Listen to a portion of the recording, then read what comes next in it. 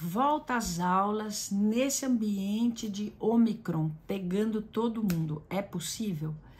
Sim, pessoal, é possível e é desejável, tá? A volta às aulas é importantíssimo para as crianças. As escolas, como eu sempre digo, são um ambiente seguro para as crianças, onde se exercem de fato todas as medidas de proteção.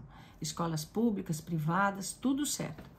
Agora, o que, que é importante a gente saber? Tem uma lição de casa dos pais, que é muito importante também. A gente não tem só que delegar para a escola a necessidade das medidas de proteção. Não. Os pais também têm uma lição de casa importantíssima a cumprir. Qual é?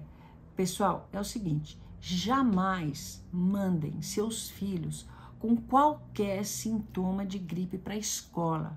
Isso é muito importante. Vocês também são responsáveis pela saúde de cada uma das crianças que estão lá na sala do seu filho.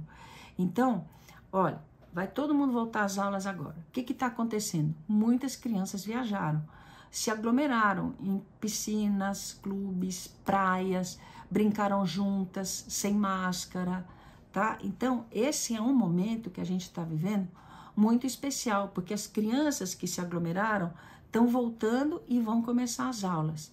Então, pais, fiquem atentos à sua lição de casa. Se você entender que qualquer pessoa da família tem possibilidade de ter Covid, se o seu filho tá com qualquer sintoma, tá, de gripe, resfriado, diarreia, às vezes Covid começa com diarreia, uma dorzinha de garganta, uma dor de cabeça, tem a responsabilidade de esperar um pouquinho para mandar seu filho para as aulas.